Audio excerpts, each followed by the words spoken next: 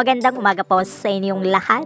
Narito po ang bagong balita kay Miss Universe Philippines 2023, Miss Makati na si Michelle Marquez din na kung saan ang kanyang pangmalakasang latest look today.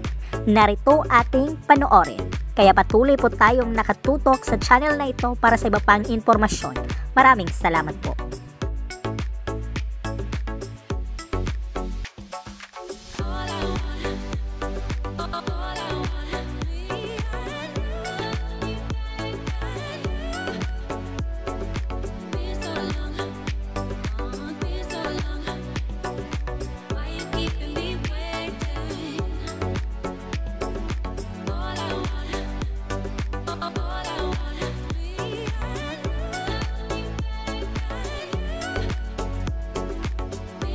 Ano kaya ang masasabi mo rito? I-comment mo dyan sa comment box at huwag kalimutang mag-subscribe para always updated.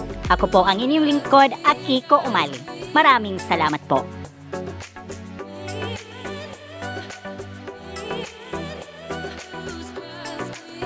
Kung bago ka lang sa aking channel, huwag kalimutang mag-subscribe and click the bell para always updated sa bagong kaganapan.